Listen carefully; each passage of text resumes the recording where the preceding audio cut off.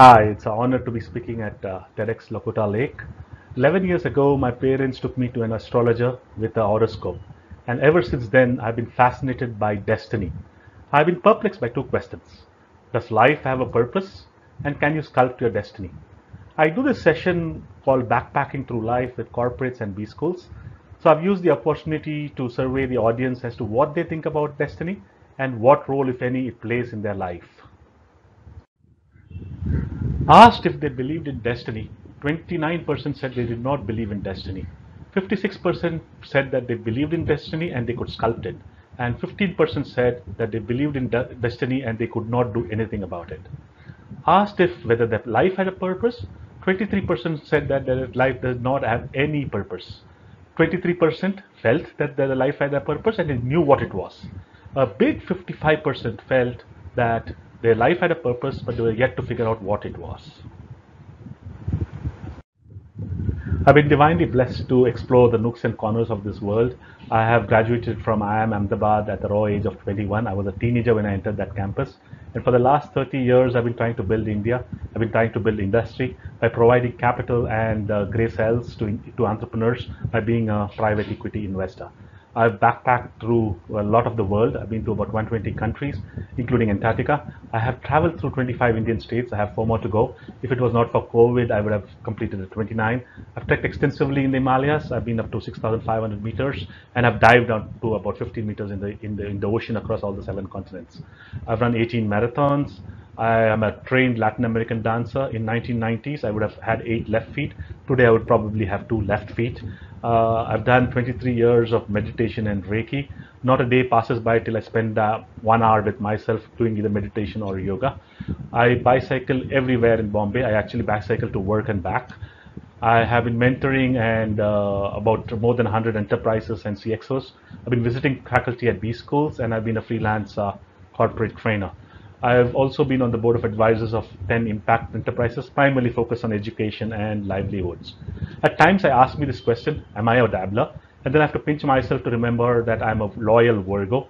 I've been, I'm still in my first relationship, uh, which I did started 26 years ago. So there must be a reason to what I do. There must be a theme to what I do. So let's see what, why I do what I do. Serendipity has played a humongous role in my life. Almost everything I've done has been inspired by some stranger who's come into my life and changed it.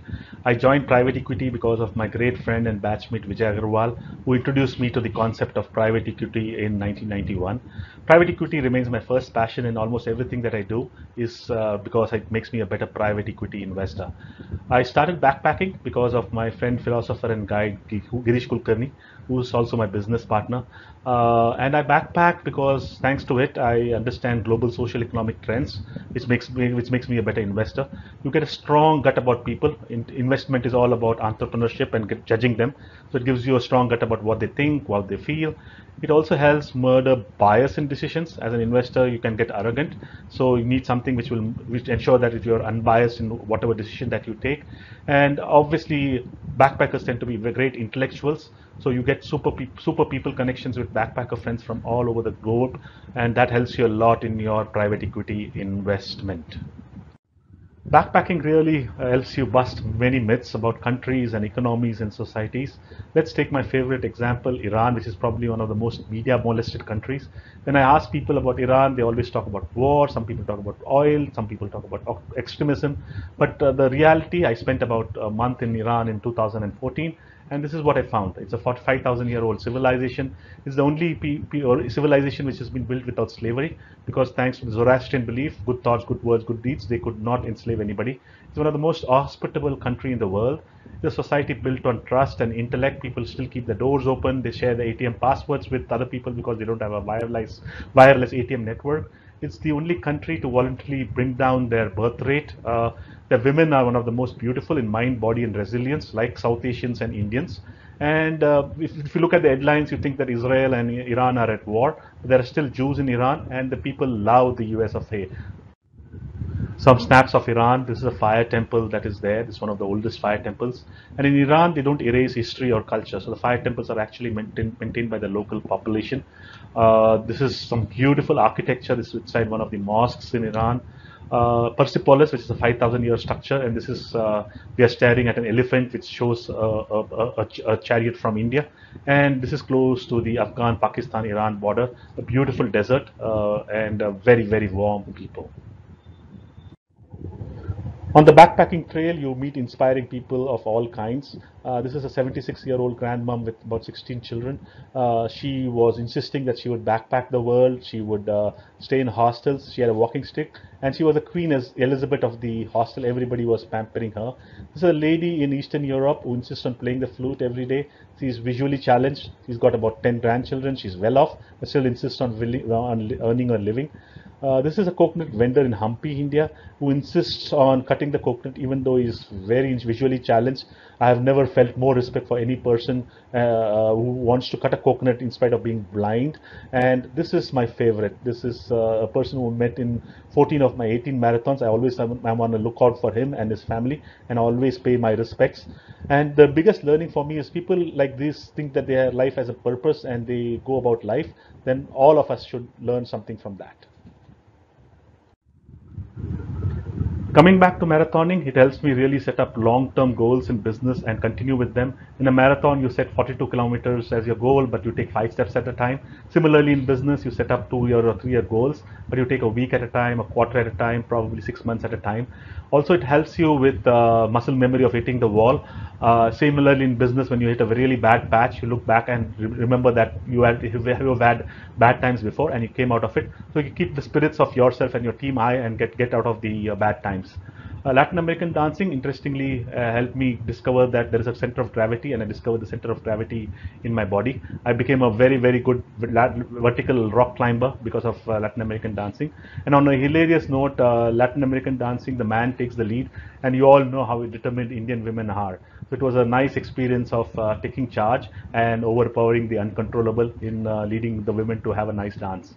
Uh, meditation, this is a journey which unfortunately I can never share pics, but you develop a seventh sense, you develop a seventh gut, and it always keeps you young in body and uh, soul.